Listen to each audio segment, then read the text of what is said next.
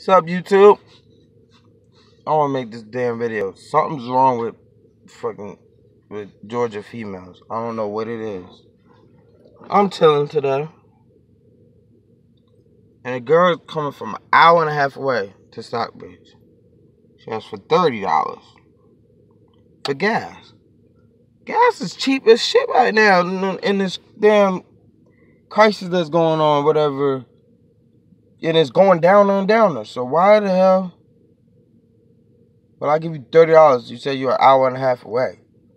Too damn long. talking about take thirty dollars to fill up her tank. That's just that that don't make no sense. Alright, that's not even the crazy crap. This girl today, what she texted me like two days ago, yesterday. She gonna tell me she's gonna come. She was supposed to come yesterday. So yeah, she was supposed to come yesterday, right? Keisha, whatever. I ain't know. Somebody text my number like early in the morning. I'm like, who the fuck? And she said she's Keisha. So I'm like, all right. Do you want to meet? Whatever. She says, yeah. Didn't come yesterday. All right. She said her homegirl gonna bring her today. So I call it today. I call it today. She gonna tell me, "Oh, you gonna give my homegirl gas?" This is the thing I don't like about females and people. Why ask for gas after you already said you coming? Like, what the hell?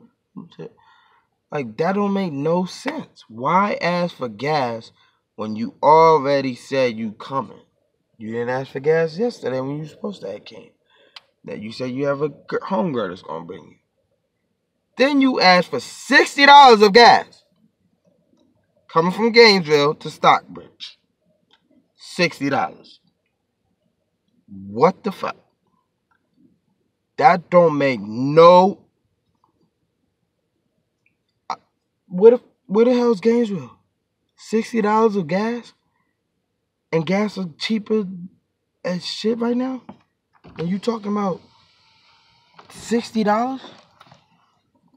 For gas. That don't that don't make no sense to me. She took me for a sucker. I said, this ain't fucking pay to play. I don't do that pay to pay shit. It pay to play, whatever. I'm going nuts. I'm like, what the that don't make no sense. Female, you're tripping. You sound crazy as hell. And she gonna ask nurse, who you cursing? I'm cursing at you. You just asked me for $60 of gas coming from Gainesville. For your homegirl. What the hell you driving? A yacht? Fuck you driving? What the hell? Drink? No, that don't make no You took me for a second.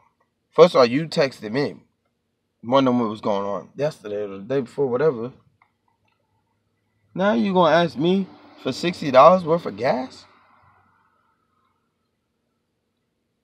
And you're not even coming. Your homegirl's coming.